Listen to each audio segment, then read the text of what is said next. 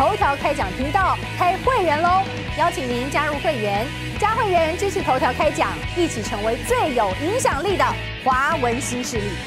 我觉得这就是 perfect storm 啊，就是说刚好在发生这样的一个问题的时候，然后拜登他在度假。那但是你说这个问题，拜登他事前能不能预测到？当然，我觉得相我相信是可以的啦，因为现在北美的极端气候其实常常发生。嗯，那大家也知道，其实我想可能听众朋友有呃观众朋友有的对美国熟悉的，或者有住在美国过的，大家就会知道，就是说美国的 infrastructure 就基础建设其实没有很好。对啊，你的暖气、你的水电、你的这些部分，甚至你的政府的效能，其实在我觉得美国联邦政府是 OK 的啦，它的动动能其实是很快。但州政府的效率实在是很差，市政府的效率其实我相信更更那个，所以你说 Buffalo 会出现这样的一个状况，然后它就是针对所谓的它的这个紧急宣布，我觉得一方面极端气候影响非常非常的大，对，那另外一方面确实在这个最冷的这样子的一个情况里面，坦坦白讲，我觉得这里面有很多的误判，第一就是说针对程度的问题，然后第二。针对血量的部分，我相信一定有人疏忽了。对，所以你看他来讲说旅游禁令，其实原本要提早发布的，那大家可能针对这个部分，还有到底要不要上班？对，你看很多人好像卡在路上这样的一个状况，都发太慢了。对，就都有一些螺丝松掉的感觉。但是这些螺丝的松掉，到底是因为就是说相关人处理事情的时候，他这个在整个官僚体系里面，他用一个比较 casual 的方式，他就他就 skip 掉了。嗯，还是就是说在整个状况里面，你的基础建设其实受到这个极端气候的这个挑战，你已经没有办法撑下去了。因为你你要看到就是。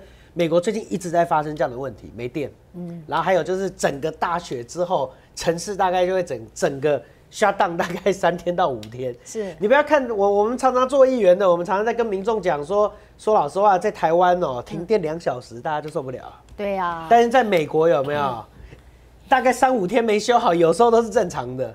所以，所以在这样的一个问题里面，我我觉得确实美国的基础建设跟美国的州政府、市政府这个 level，其实他们。他们的基础建设真的没有做，没有很好。那观众朋友如果拿台湾的状况来看美国的时候，你会发现这不可能发生的事。但事实上，其实美国的国力。他们中央政府真的很强，但他们地方政府说老实话，我我真的带保留。好，不过天气这么恶劣的话，哈，当然大家就足不出户了。可是现在呢，疫情趋缓，那么现在当然大家是希望能够赶快出门透透气。谢大使，那现在看到大陆方面确实已经做了调整，一月八号起放松边境管制入境，不必检测隔离哦。好，那国民呢也可以出国去，但是现在你说。出国的话要到哪里好呢？是不是有一些国家现在开始，特别是针对中国大陆的居民，要到他们的国家就开始做一些管控啊，做一些这个呃限制了。韩国这边呢是说，十二月十六号起把中国列入检疫查验的重点国家名单。印度方面则是二十四号有宣布，包括中国、香港、日本、泰国、韩国的国际旅客去印度的话要出示 PCR 检测。菲律宾则是说，可能对来自大陆的旅客做病毒检测，但是不会完全禁止陆陆客入境哦。那么马来西亚方面呢，则是说要跟进查验，哈，加强数位化管理，但是没有指明是针对中国入境的旅客，所以适用于全部的这个国家吗？反倒是在日本的部分跟美国的部分看起来就好像比较针对性。日本方面是十二月三十号起，陆客入境的话全面筛检，阳性的话要接受原则上七天的隔离，限制中港澳班机只能够在四个机场起降，有包括东京的成田、羽田这两个机场，还有关西的以及中部的机场。那么日本甚至还有网友很不满，说政府无能，应该禁止所有大陆人入境吧。可是怎么都没有看看日本第八波的疫情肆虐，它单日死亡的病例四百三十八例是创新高。那为什么日本方面好像特别特别是针对着中国大陆呢？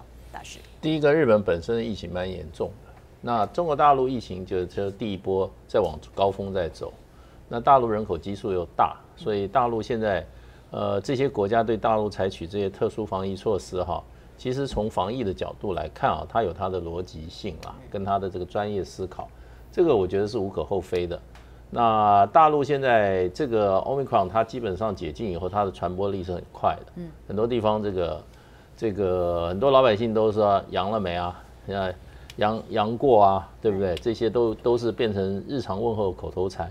你晓得这个这个这个病毒在传播的快速，本来中国大陆也就讲了，它的防疫单位就讲这是一一传二十的，是非常传播力非常强大的。那当然，中国大陆现在这个整整个整个做法，我觉得防疫单位的做法，最近两项措施啊，一个就是说把这个病毒哈的定义改了，它就就叫新冠感染。对对对，原来叫新冠感冒，现在改到新冠感染。嗯。那第二个就是说，它本身中国大陆本身的边界管制几乎完全移除了，一月八日八号起，对不对？那基本上进来就是零加三了，等于就在国门敞开，这也符合逻辑，这也符合防疫的科学考量。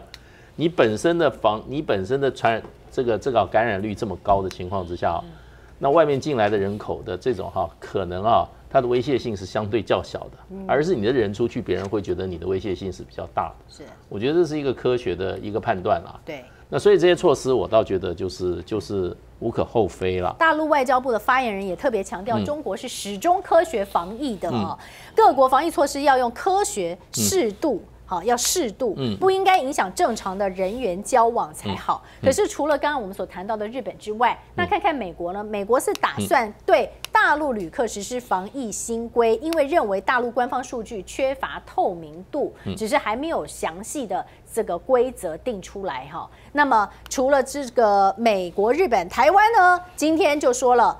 从中国大陆入境台湾要在机场做唾液 PCR 啊，那么在今天的话呢，台湾增加了两万七千多例的本土病例，两百二十六例境外的感染病例，二十五死，已经是连续八天攀升了。但是呢，这个蔡委员，我们要比较一下哦，那到底他们是科学的考量吗？那么如果是这样的话，那我们来看看，那为什么泰国跟法国就特别不一样呢？因为泰国的财政部长还说，如果中国游客回流，明年泰国经济可能增加百分之三点八哦。那么呢，很欢迎这个中国大陆的游客到访泰国去啊。外国游客当中，陆客大概都占了大概二十八个 percent 了。法国这边呢，你看驻华大使馆也特别发了个微博，说张碧欢迎你们呐，中国朋友。然后有网友也表示很好啊，很肯定啊。网友甚至说这比日本的格局更大呢。所以呢，所以现在那就去欢迎中国旅客的地方去，不不就好了吗？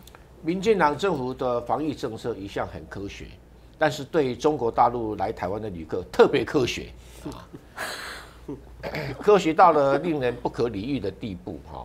明明美国的疫情。不输给中国大陆啊！美国的死亡人数是远远高于全世界任何一个国家跟地区啊。对，美国的的死亡人数已经几乎就是六颗原子弹呃轰炸以后死亡人数啊。但是呢，我们对台湾对美国进来的的这个旅客啊，从来好像都没什么管制啊啊啊，轻轻松松从以前到现在都如此。在中国大陆哇，好不容易管控了哈，可以报一箭之仇。以前台湾人到中国大陆去哦，要要居。就是要隔离几天在旅馆，要隔离几天在什么地方呢？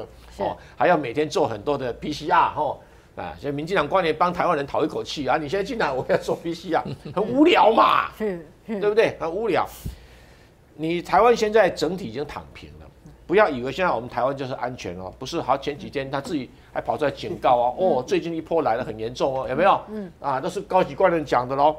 那很严重了，以后那你你对中国大陆的态度，中国大陆还有没有很严重哦？嗯啊，所以我是觉得在里面去掺杂一些政治元素没什么意义啦。